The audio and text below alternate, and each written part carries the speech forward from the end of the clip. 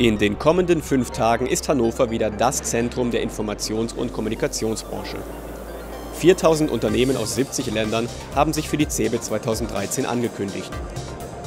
Die Planung ist ein, ein Megaprojekt. Ähm, über 360 Tage, so lange dauert eine, ein Zyklus äh, zwischen einer CeBIT und der nächsten, sind über 200 Menschen in einem großen Projektteam weltweit unterwegs, die richtigen Themen zu setzen, die richtigen Unternehmen zu mobilisieren ähm, und das alles vorzubereiten. Gestern Abend war es dann soweit.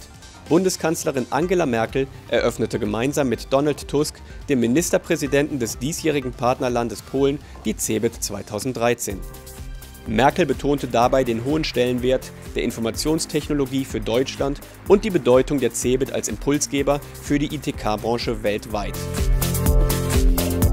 Diese CeBIT ist eine wichtige Messe um auch mit darüber zu diskutieren, wo Wachstum, wo Jobs, wo Zukunft in Europa geschaffen werden kann. Ich wünsche Ihnen allen erfolgreiche, spannende Tage.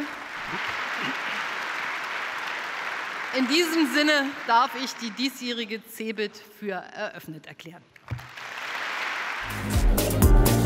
Bis zum 9. März können Besucher in Hannover aktuelle Trends und Produktneuheiten der digitalen Welt bestaunen.